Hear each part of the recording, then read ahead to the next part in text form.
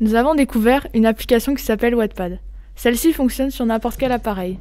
Elle peut vous permettre d'écrire votre propre histoire, de lire le contenu des autres utilisateurs et d'y laisser votre avis.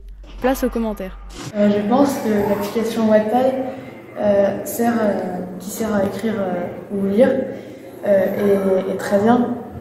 l'application Wattpad consiste à écrire des histoires et à développer notre imagination. Et elle peut aussi, elle permet aussi de lire les histoires des autres, des utilisateurs.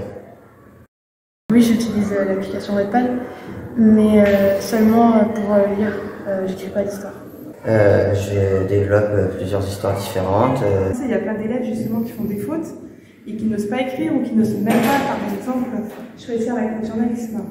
J'utilise cette application depuis euh, environ un an. Alors moi, dans ce que tu m'as décrit, j'en vois que du positif. Je peux pas. Euh, ouais, ce qui est négatif peut-être, c'est qu'il n'y a pas ce côté. Euh, il y a les fautes soulignées en rouge, on peut se corriger par soi-même. Donc ça, c'est intéressant. Peut-être que si l'application évolue, ça, ça arrivera. Je pense que ces genres d'applications euh, se développent maintenant. Il y a plein d'utilisateurs, on voit les nombres de vues, de j'aime sur les histoires et on en voit vraiment pas mal. Et quand on voit toutes les histoires qui sont sorties, euh, oui, on voit qu'il y a beaucoup de personnes qui développent cette application. J'ai connu cette application euh, bah, grâce à ma, à ma, soeur, parce qu'elle aime bien lire, du coup elle m'a montré l'application.